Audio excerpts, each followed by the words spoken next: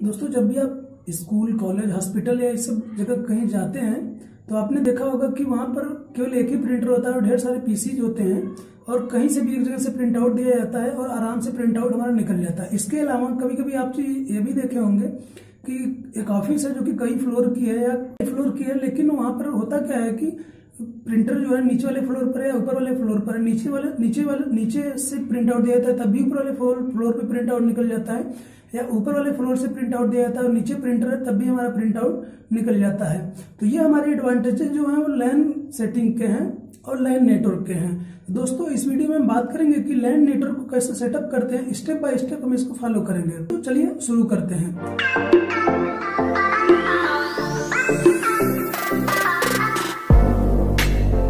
मेरा नाम है तनवीर और आप सभी का स्वागत है हमारे YouTube channel talk with Tanveer में। चैनल को, हमारे वीडियोज़ को पहली बार देख रहे हैं तो हमारे चैनल को सब्सक्राइब करें और अभी लाइक कर दो दोस्त बहुत मेहनत करके की वीडियो आपके लिए बनाता हूँ। चलिए चलते हैं अपने लैपटॉप की स्क्रीन पर हैं टास्कबार पे आपको यहाँ दिख रहे होंगे ये वाला ऑप्शन यहाँ पे नेटवर्क एंड शेयरिंग सेंटर का सेंटर का ऑप्शन देता है। इस पर आप क्लिक करेंगे यहाँ पे ऑप्शन देगा open network and sharing centre इस पर क्लिक करिए। क्लिक करने के बाद आपको यहाँ पे बाएँ साइड में ये चेंज एडाप्टर सेटिंग का ऑप्शन देगा। इस पर जाएँगे। इस पर जाने के बाद यहाँ पे लोकल एरिया नेटवर्क का ऑप्शन देगा। इस पर क्लिक करना है। क्लिक करने के बाद प्रॉपर्टीज़ पे जाना है और प्रॉपर्टीज़ पे जाने के बाद यहाँ पे हम internet protocol version T C P I P four इस पर जाएँगे सेलेक्ट करेंगे और प्रॉपर्टीज़ पे जाएँगे। इस पर जाने के बाद आप यहाँ देख रहे हैं, दो ऑप्शन दिया हुआ है। Use the following I P address इस पर हमको क्लिक करना है और क्लिक करने के बाद हमको सी क्लास की आईपी डालनी है। मैं आपको अगली एक वीडियो बनाऊँगा, जिसमें हम बताएँगे कि आईपी क्या होता है और आईपी कितने रेंज होते हैं और कौन कौन से क्लास के होते हैं। तो इसके लिए हम सी क्लास की आईपी ले लेते हैं।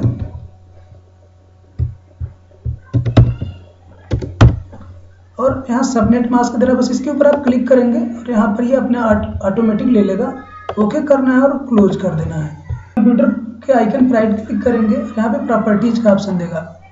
इस पर जाएँगे, जाने के बाद यहाँ पे बाएँ साइड में आपको रिमोट सेटिंग का ऑप्शन दे रहा है इस पर जाएँगे और इसको हम अलाउ कर देंगे और ओके करके यहाँ से ओके करके छोड़ देंगे, फिर इसको हम क्लोज कर, हम कंप्यूटर को ओपन करेंगे, ध्यान दीजिए, हम इसको शेयर करेंगे किसी भी एक ड्राइव को। ध्यान दीजिएगा यहाँ पर कोई भी हमारा ड्राइव शेयर नहीं है। इसके लिए हम क्या करेंगे ड्राइव पर राइट क्लिक करेंगे, यहाँ पे ऑप्शन दिया हुआ है शेयर विथ का।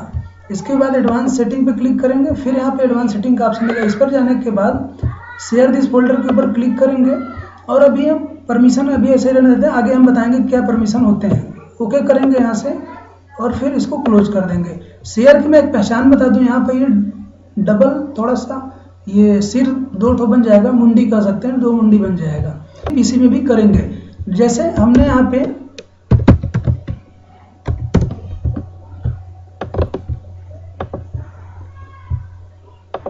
जैसे हमने यहाँ पे आई पी तेरह दिया हुआ है one nine two one six eight dot one dot thirteen वैसे ही हम उस दूसरे लैपटॉप पे या दूसरे पीसी में एक डाउन कर लेंगे या एक बढ़ा लेंगे। लेकिन यहाँ पर मैं बता दूँ, इसकी मैक्सिमम यहाँ पर 254 तक ही हो सकता है।